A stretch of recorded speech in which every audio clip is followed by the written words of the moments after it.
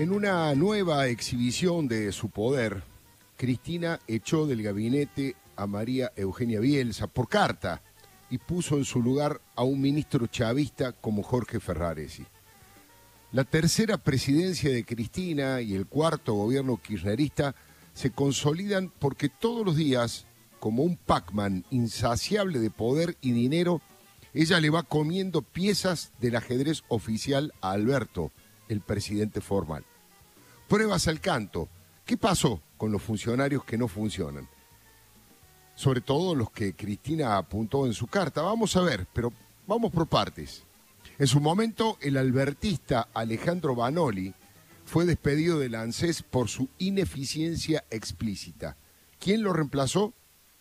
María Fernanda Raberta, dirigente de la Cámpora, que tuvo la audacia hace unas horas de decir que vamos a volver a la fórmula que trajo tanta alegría a los jubilados y que mejora su calidad de vida.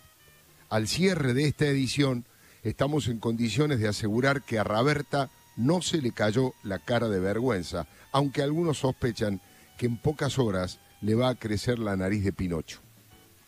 Pero sigamos con el Pac-Man Cristina el albertista Sergio Lanciani fue despedido de la Secretaría de Energía por su ineficiencia explícita. ¿Quién lo reemplazó? El cristinista Darío Martínez, que en sus primeras declaraciones anunció un aumento de tarifas y advirtió que en el verano va a haber muchos cortes de luz. Chocolate por la noticia. El que avisa no traiciona. Cristina fue clarísima en su carta. Hay funcionarios que no funcionan de inmediato se abrió la lista negra de espera de las eyecciones del gabinete y María Eugenia Bielsa estaba entre los primeros lugares. Cuando veas las barbas de tu vecino afeitar, pon las tuyas a remojar. Atentos, Santiago Cafiero, Claudio Moroni, Vilma Ibarra y hasta Marcela Lozardo, la socia histórica del presidente que fue retada públicamente por Leopoldo Moró, un operador de Cristina. Lo de Bielsa fue también por ineficiencia explícita, sin dudas. Bielsa nunca encontró su lugar en el gobierno, dio vueltas sin resolver nada y le mostraron la tarjeta amarilla cuando le sacaron la principal caja de fondos de su cartera y se la dieron a Daniel Arroyo. Hablo del Registro Nacional de Barrios Populares, que tenía que urbanizar las villas con un fideicomiso que de arranque ya tenía 8.800 millones de pesos. Un bocado de cardenal para Juan Grabois, el amigo del Papa, digo, porque una funcionaria que milita en su espacio, Fernanda Miño, va a manejar semejante montaña de dinero. Es decir, que el proyecto Artigas y la reforma agraria ya tienen el sustento asegurado. Pero la ausencia de actividad de Bielsa no fue el motivo fundamental de su expulsión. Cristina nunca le perdonó dos cosas. Bielsa es una mujer honesta, que varias veces le dijo que no a Cristina. Bielsa no acepta la sumisión ni el verticalismo, pero además, en un acto, reconoció que el gobierno de los Kirchner había robado. Alguien filmó ese sincericidio con su celular y se hizo viral. Cristina no perdió tiempo y movió a uno de sus alfiles para ocupar ese ministerio decisivo para ayudar a la gente, pero también para hacer clientelismo populista. Sacó una mujer y puso a un varón con B larga y con B corta. Así entró Jorge Ferraresi en escena. ¿Es un científico en este falso gobierno de científicos? De ninguna manera. Aprendió el manejo de la obra pública al lado de uno de los más grandes delincuentes del gobierno de delincuentes, que fue el de Cristina. Hablo de José López, la mano derecha de Julio Devido Ferraresi trabajó al lado de Josecito, que se hizo famoso mundialmente por haber recibido 9 millones de dólares de un secretario de Cristina, según confesó. A la madrugada y con una ametralladora dejó esos billetes sucios de corrupción en bolsos en un monasterio que no era monasterio y en manos de unas monjas que no eran monjas.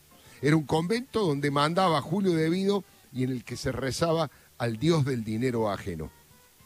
Pero de hecho, Ferraresi también tiene lo suyo. Fue acusado por un fraude al municipio de más de 96 millones de pesos y por enriquecimiento ilícito.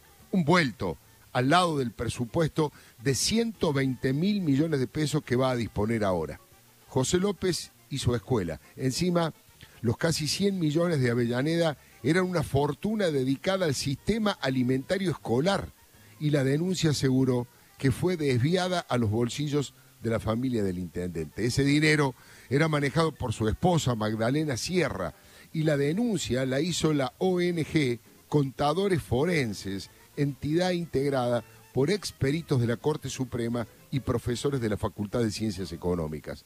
Hace 11 años que Ferraresi es intendente de Avellaneda, pero su lugar más encumbrado es la vicepresidencia del Instituto Patria, sede del gobierno de Cristina.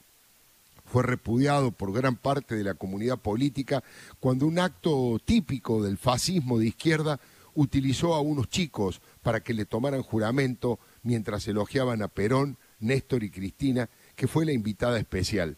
También ocuparon destacadas butacas otros conocidos republicanos honrados como Hugo Moyano y Oscar Parrilli, pero lo que más define a Ferraresi y por extensión a Cristina, su jefa política, es su militancia chavista. Hay que ser chavista en estos tiempos donde líderes socialistas y con ética intachable como Michelle Bachelet denuncian violaciones feroces a los derechos humanos en la Venezuela de Nicolás Maduro. Hay que ser chavista ante la realidad de casi 5 millones de venezolanos que huyeron del hambre, la inseguridad y el autoritarismo. Se fugaron hartos de una libertad de prensa que no existe y de una libertad en general que está pisoteada por las botas de los generales de la narcotiranía. Hay que ser chavista hoy, que hasta la Corte Internacional de la Haya se dispone a juzgar a los ultramillonarios jerarcas del régimen por crímenes de lesa humanidad. A Ferraresi nada de eso le importó a la hora de bautizar una plaza como República Bolivariana de Venezuela y hacerse acompañar de burócratas del gobierno chavista. Apoyaron esa ofensa a los derechos humanos artistas K como Gerardo Romano, Rita Cortese, Teresa Parodi, Juan Palomino y Victoria Oneto, que en este momento, en ese momento se desempeñaba como secretaria de Cultura de Avellaneda. La reacción fue mediante una solicitada de intelectuales calificados que calificaron a Maduro como un genocida sin escrúpulos. Firmaron lúcidos defensores de la democracia y la república como Daniel Sabzay, Santiago Kovadlov y Marcelo Birmacher, entre otros. Es posible el posible candidato opositor a la intendencia, Luis Otero por el radicalismo, cuestionó el manejo nada transparente de Ferraresi y muy arbitrario en los fondos públicos y hasta en el reparto de los bolsones de comida. La expulsión de Bielsa también es un golpe para la relación entre Alberto y los gobernadores. La ex ministra era un símbolo de ese acuerdo en la figura de Omar Perotti, el jefe de Estado santafesino. Por el contrario, es otra muestra, como si hiciera falta, de que las decisiones de Cristina son ley para este gobierno. Alberto quiere, por ejemplo, a Daniel Rafecas como jefe de los fiscales, pero Cristina le duerme el trámite en el Senado y mientras tanto avanza en la modificación de los requisitos para ocupar ese lugar tan decisivo. Y eso va a provocar la renuncia de Rafecas a esa candidatura. Cristina necesita a alguien más decidido, más fanático, alguien con menos pergaminos, pero con menos escrúpulos también. El procurador será clave, decisivo a la hora de abrir o cerrar las puertas de la impunidad para Cristina, sus hijos y el cártel de los pingüinos ladrones. Alberto, por momentos, amaga con independizarse y ponerse los pantalones de presidente, pero cada vez que lo intenta, Cristina con un par de gritos lo vuelve a reducir a la servidumbre. Echar a María Eugenia Bielsa y colocar a Jorge Ferraresi es apenas un ejemplo, pero habrá más informaciones para este boletín y habrá más ministros boleteados por Cristina. No tengo dudas.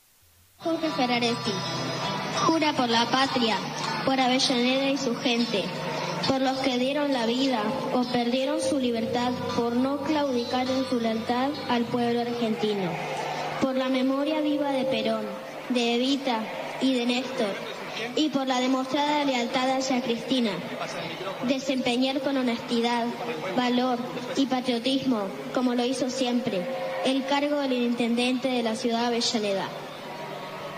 Sí, juro. Volvé a escuchar la columna de Alfredo Leuco en radiomitre.com.